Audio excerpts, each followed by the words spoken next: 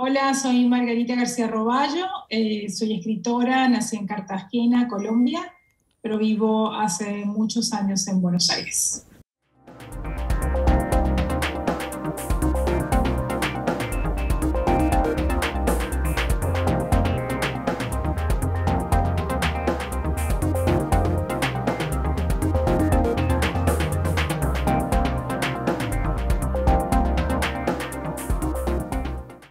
Margarita García Roballo, escritora de Colombia, nacida en Cartagena, vive ahora en Buenos Aires, Argentina.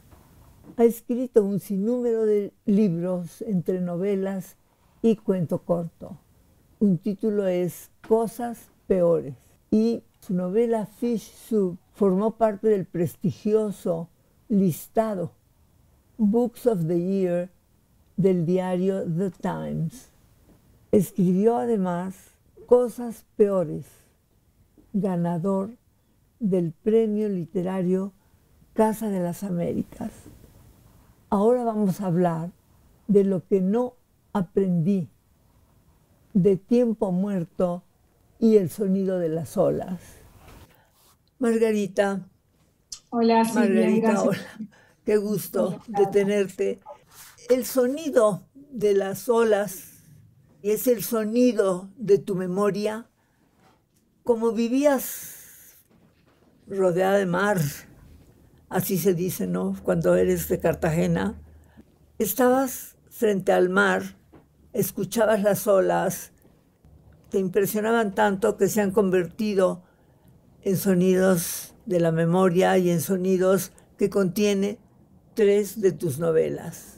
Sí, sí, sin duda el, sonido de las olas es, es, el sonido de mi memoria y, y me, me, gustó titular estas tres novelas de esta forma porque son tres historias que, digamos, como que contienen un mismo universo narrativo que tiene que ver precisamente con lo que decías al principio, con crecer frente al mar y estar expuesto todo el tiempo, no solo este, a ese sonido, sino a todos los estímulos que vienen con el mar y también con la sensación de estar frente a un horizonte que te ofrece un montón de posibilidades y al mismo tiempo es como una especie de muralla que no te deja salir, porque uno no puede atravesar el horizonte.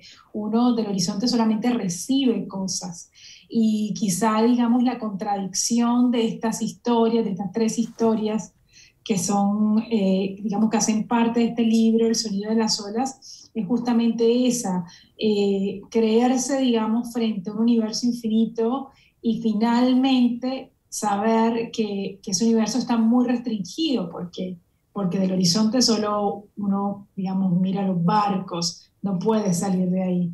Eh, y es lo que le pasa un poco a las tres narradoras de las novelas que contiene este libro. ¿Por qué entonces pusiste estas tres novelas con el sonido de las olas? Bueno, justamente porque yo creo que son tres novelas hermanadas. Son tres novelas que, primero que todo, hay que aclarar que son novelas que habían sido publicadas de manera independiente. Y Penguin decidió hacer esta compilación, que yo creo que tiene toda la lógica, porque mm, son tres historias que están hermanadas por ese universo, que es el mar, que es la costa, que son lugares siempre periféricos frente a un horizonte, eso, como lleno de promesas y al mismo tiempo limitante. Y las tres narradoras de estas novelas que son independientes, yo nunca pensé este libro como una unidad, y sin embargo, al ponerlos juntos uno se da cuenta de que tienen un montón de cosas en común que, tiene que ver eso, con no solamente con la geografía física, sino con la geografía afectiva y simbólica que supone, digamos, estar expuesto permanentemente a un paisaje de costa, a un paisaje de mar, ¿no? Y de, y de estas narradoras que todo el tiempo lo que quieren es salir de ahí, salirse, digamos, de ese territorio que les tocó y, hacer su vida en otro lado porque sienten, digamos, que hay un montón de cosas, sienten impotentes frente a la condición que les tocó vivir y al territorio que les tocó habitar. Y ese territorio está, pero supremamente marcado por la presencia del mar. Escribes con una prosa, Margarita, que la cuidas muchísimo y que deja solo las palabras que para ti tienen valor. Las frases lo mismo. Pareciera como que todo lo que sientes que no es lo que tú buscas, lo haces a un lado. ¿Por qué haces eso? ¿Es tu voz? ¿Así encontraste tu voz? Sí, puede ser.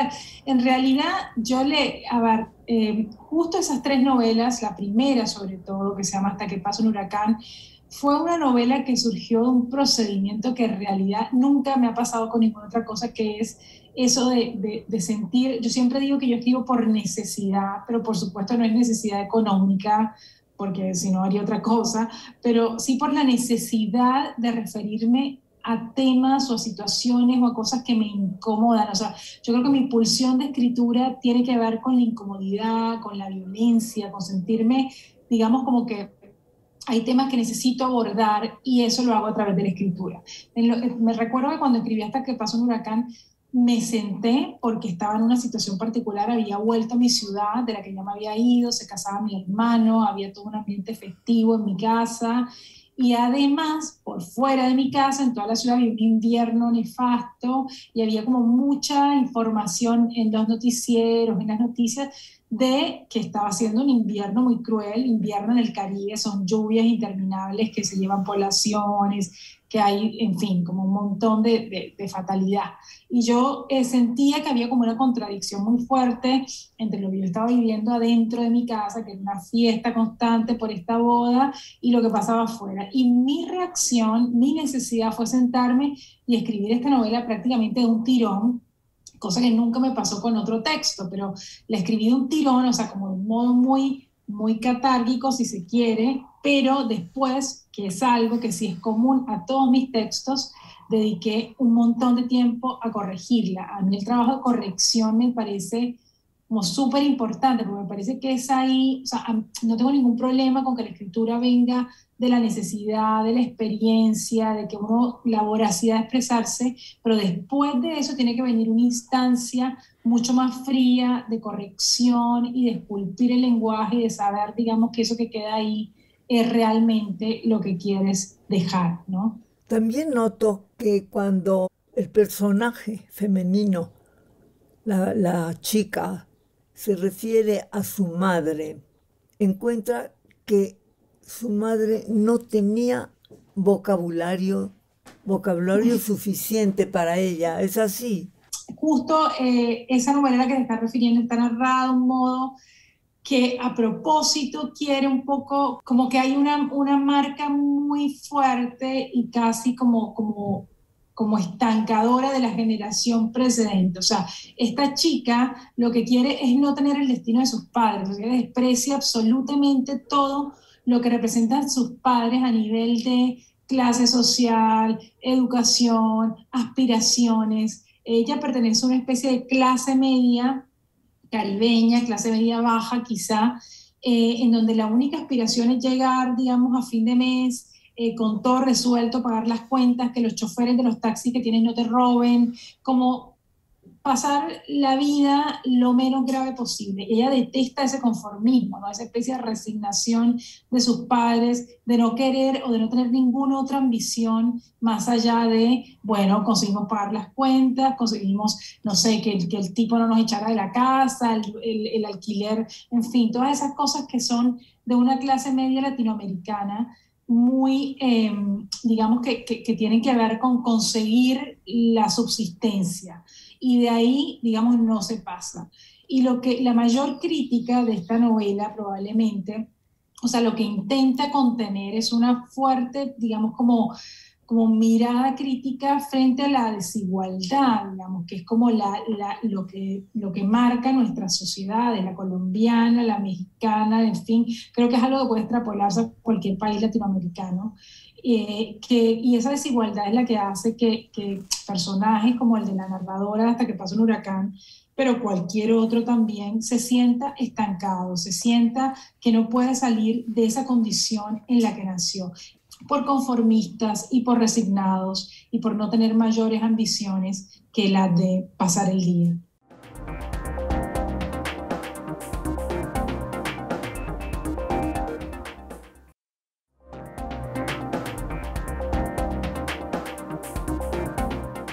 ¿Cómo era tu vida en Cartagena? Bueno, era, em, a ver, eh, tuvo diferentes etapas, digamos. Yo viví toda mi niñez en Cartagena y fue maravilloso porque yo sí creo y estoy convencida, aunque esto parezca medio conservador, pero yo creo que la geografía definitivamente te marca, te marca, digamos, el modo en que piensas el mundo, el modo en que, en que piensas todo. Eh, y crecer frente al mar te hace una persona distinta a aquella que crece entre montañas o en la planicie. Eh, y para mí fue fundamental eh, saber, digamos, que ahí, digamos, que yo salía y, y, o sea, cuando era chica, cuando iba al colegio, cuando era grande, cuando manejaba la universidad o cuando eh, veía ese mar ahí permanentemente y esa era como mi, mi compañía desde que nací hasta que me fui de esa ciudad. y eso te hace distinto. Yo creo que te hace distinto en muchos sentidos y sobre todo en esta cosa como contradictoria, insisto, que es creer que el mundo está abierto para ti, o sea, que te está esperando el mundo, que puedes acceder a él, pero que al mismo tiempo, mientras vives ahí, te vas, digamos, vives de desengaño en desengaño, porque en realidad ese mundo que te ofrece el mar es un mundo externo que te trae cosas y tú rara vez puedes salir de ahí. ¿Por qué te fuiste a Buenos Aires, una ciudad tan opuesta? Tan distinta, es la antítesis totalmente. Yo, yo me fui a, varios lugares antes de Buenos Aires. De hecho, viví una época en México también poco, pero estuve. También me fui a España. Eh, yo, yo, o sea, realmente pensaba que, que en Cartagena, que es una ciudad hermosa, eh, maravillosa, digamos, como para, para vivir así, en, en, paz y tranquilo, mirando el mar, yo sentía que me ofrecía como poco estímulo para lo que yo quería hacer. Yo no sabía bien qué quería hacer para empezar cuando me fui, pero sí sabía que mi curiosidad era como, eh, estaba por encima de las posibilidades que de lo que la ciudad me ofrecía. Le pasa a todos los jóvenes, calculo, todas las personas que están creciendo piensan que el lugar les queda chico y tienen esa voracidad, y sobre todo cuando viven en efectivamente lugares tan chicos. Y yo me fui a Cartagena porque quería explorar, quería viajar, quería conocer otros lugares. A mí me, mi vida fue un poco un antes y un después de un trabajo que tuve, eh, que creo que, que, mm, que es, es, la fundación de Gabriel García Márquez, la Fundación de Periodismo. Yo entré a trabajar ahí muy jovencita. Y, y, ese trabajo consistía en que tenía que viajar por Latinoamérica a organizar talleres de periodismo. Y, y, yo viajé mucho cuando, desde que era muy chica, ¿no? Entonces eso me fue como mostrando un poco que eso, que mi vida también podía estar en otro lado y no pasaba nada si me iba y, y lo intentaba. Eh, entonces me fui a intentarlo. Eh, y fue azaroso llegar acá porque me ofrecieron trabajo, me vine por trabajo, me ofrecieron trabajo en un diario acá que se llama Clarín y, y bueno, empecé a hacer ahí periodismo. En tu novela Hasta que pase un huracán, hay una idea de muy profunda, por cierto, y tú lo sabes, antes lo mencionaste, de un horizonte vacío. ¿Por qué te causaba esa impresión? Sí, eh, yo creo que es la contradicción que nos ofrecen estos lugares también. Esa inmensidad, o sea, crecer frente a la inmensidad en determinado momento de tu vida te hace ser consciente de tu pequeñez. O sea, uno puede vivir engañado buena parte de su vida pensando que está frente a la inmensidad y que eso supone un privilegio, pero en algún momento te cae la ficha, como dicen acá, y te das cuenta de que en realidad esa inmensidad solo constata lo pequeño que es uno y lo imposible que es acceder a eso. Entonces era como una cosa muy eh, ambivalente, es la palabra, más que ambiguo. Esa sensación que te produce estar frente a algo que te parece hermoso y al mismo tiempo te parece una cárcel, ¿no? Eh, y, yo creo que esa frase tiene que ver con eso. Eh, estar mirando un horizonte que, que es infinito, eh, que, y que no puedes, por supuesto, por su carácter de, de, ser infinito, que no puedes traspasar, que no puedes nunca llegar a él. La protagonista de esta narración quiere irse de ahí. Tú antes también hiciste un, un recuerdo de ello, pero ¿quiere irse de ahí o quiere irse de sí misma? Es una buena pregunta porque en realidad yo creo que lo que le pasa a esta narradora, que viste que a veces uno escribe y no tiene muy claro qué le pasa al personaje hasta que termina el libro e intenta descubrirlo, pero yo creo que lo que le pasa a ella es que no sabe muy bien, o sea, sabe que quiere irse, pero, o sea, la pulsión está clara, quiere irse, pero no sabe por qué, hacia dónde, hacer qué. Es como, como un deseo que al mismo tiempo es, como que es, es, muy fuerte, al mismo tiempo es vacío.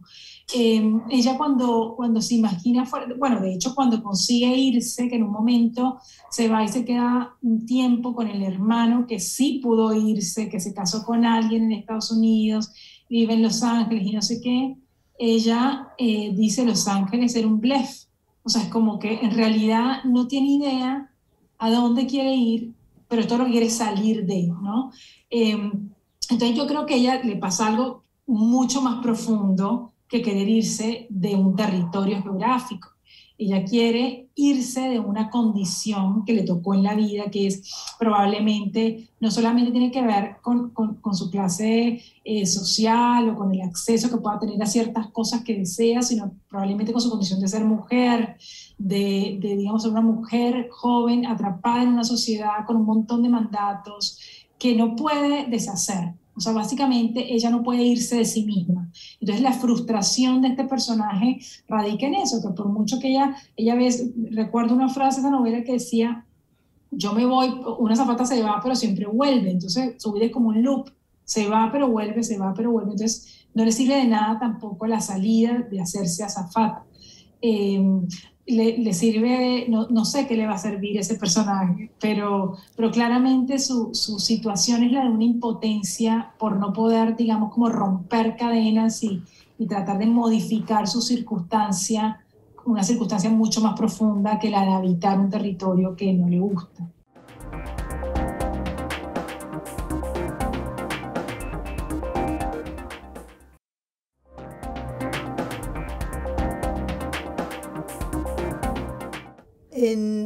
Hasta que pase el huracán, ¿existe el abuso? Sí, por supuesto. Yo creo que, que las tres novelas están atravesadas por situaciones de abuso, em, pero que yo siento que al mismo tiempo son, son situaciones que están ahí como, yo no diría tanto como sugeridas, pero sí naturalizadas, porque siento que al mismo tiempo estas novelas son un retrato de, de una sociedad, de un sector en el Caribe colombiano en el que estas situaciones se naturalizan. No, no, a nadie le llamaba especialmente la atención que, o sea, tampoco a nadie le seguía los pasos. Una, una niñita que se fuera a visitar a un tipo viejo en un, no sé, en un pueblo pesquero, hacer que... Son situaciones que se dan mucho y que no llaman la atención. Entonces, no solo en esa novela, en las tres novelas hay situaciones como border, digamos, que eh, a la luz de hoy, digamos, igual son novelas que están escritas hace bastantes años, pero igual son novelas vigentes y contemporáneas, y a la luz de hoy uno analiza eso y dice cómo es que nadie, eh, a nadie le pareció llamativo esta situación. Y de ese mismo modo quise escribirla como algo que puede suceder y puede también, que me parece que es algo que puede sonar polémico y quiero ser como cautelosa al decirlo, pero que no siempre una situación de estas se traduce en trauma. O sea, algo que sucede de ese modo puede tornarse en experiencia y no necesariamente en trauma. Entonces, está bien, digamos, que persiste la experiencia y yo lo quise contar de un modo en que no se tradujera necesariamente en un tramo, solo porque esta niña pasó por esta situación, entonces su devenir de ahí en más estuvo marcado por eso, porque además hay un momento en la novela en que ella casi como que participa de un modo en que, en que mm, casi que pide ser abusada, ¿no? Y, no encuentra como eh, receptividad del otro lado. En lo que no aprendí se narra la historia de Katy, su familia, lo que la rodea. Háblame de Katy. Katy es una niña em, criada en Cartagena, em, muy típico de, digamos, suburbio de Cartagena, su, familia vivía en un lugar alejado de, todo esto que se conoce como Cartagena, era un lugar más bien de casas con patios y, esto, suburbio. Y, eh, y, ella tenía esta, creo que yo lo que quise recrear un poco es esta situación de, de aburrirse, ¿no? en la niñez, de, no saber bien qué hacer con el tiempo libre que tienes. Toda esta novela sucede en un mes, en un mes de junio, que es como las vacaciones de verano, pero allá todo el tiempo es verano, así que no se llaman así, pero las vacaciones, digamos, de mitad de año. Y ella empieza a tener como, como mucha curiosidad por lo que hace su papá. Es una, es una novela que habla de la relación esta idealizada que tenemos las hijas con los padres y, de, digamos, de, atribuirle un montón de, cosas a los padres que, que, al final, digamos, nos impiden humanizarlos, ¿no? Ella pensaba que su padre, pues, descubre lo que hace su padre, que, que, que en realidad parecía que era un abogado, pero en realidad hacía como ciencias ocultas y atendía pacientes en su casa y y un poco como que le atribuye poderes al padre y, eso hace, digamos, que el, final que, de, la novela o lo que termina sucediendo sea como una especie de, rito de iniciación, o sea, como de golpe duro para la narradora, como para que crezca. Eh, y, bueno, y, se torna un poco como en el sufrimiento, ¿no? que, que, es lo que nos pasa a quienes idealizamos demasiado eh, a los padres o a los seres queridos. Eh, y esta novela habla de eso y también habla mucho de la memoria, de la construcción de la memoria colectiva y la memoria familiar, cómo termina, digamos, como instalándose una versión oficial de una memoria compartida y cuando uno quiere subvertir esa memoria se encuentra como con un montón de obstáculos que son los recuerdos de los demás. El poder de la mente se nota muy evidente. Sí, bueno, esta novela tiene mucho, debe ser la novela que más tiene cosas de, de mi niñez, digamos, em, porque mi papá efectivamente se dedicaba un poco a las ciencias ocultas y yo crecí un poco con esos libros en mi biblioteca. O sea, me pareció una cosa extrañísima y al mismo tiempo fascinante. Entonces, como que esto que, de, que, de que la mente fuera capaz de producir cosas en la realidad me parecía algo fascinante cuando era niña y cuando crecí y vi que muchas de las cosas que yo creía que se podían conseguir de esa manera no se conseguían, entonces cuando tuve adulta pensé, bueno, esto es una estafa, ¿no? Entonces un poco eso también, como la idea de, de, de que alguien que fue tan importante para, para el personaje, para la narradora, como, era la figura del padre, supusiera en determinado momento también una especie de estafa. Es como que era un dios, al final era un tipo que se la pasaba encerrado en su estudio haciendo sus cosas. Era, era, era no sé, era alguien especial o era, como dirían acá en Argentina, un chanta. ¿Era qué? Entonces, de eso se trata también, de la relación idealizada versus la humanización de ciertos personajes en la vida de uno, como son los padres. En educación sexual, me parece que es una novela muy interesante.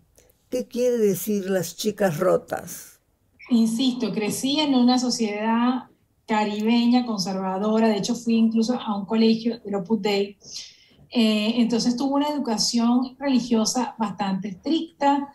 Eh, esta novela un poco intenta recrear eso, recrear, digamos, el modo en que la sexualidad era tratada eh, en estos entornos y en esta época, que tampoco es tan lejana en el tiempo, un poco persiste en, en, ese mismo sector este tipo de educación.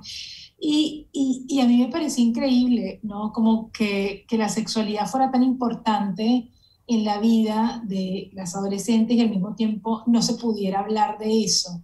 Eh, entonces, para referirse a chicas que hubiesen perdido su virginidad, se las llamaba chicas rotas, o, eh, por ejemplo, no sé, hay, eh, como hay, hay, una expresión que se usa también para decir como que en sentido contrario, como que las mujeres no son baldes, digamos, entonces están rotos no sirven, y, todo esto como con la idea eh, que tenían ciertos colegios y cierto tipo de educación de que lo más importante en la vida de una mujer era preservar su imen, ¿no? Entonces, eh, como en esta novela, el, eh, que se llama Educación Sexual, lo que intenta contar es un, momento real, esta debe ser también, esto es una novela, es más un ensayo que una novela, diría yo, porque, porque sí que toma cosas eh, bastante constatables más que, más que reales.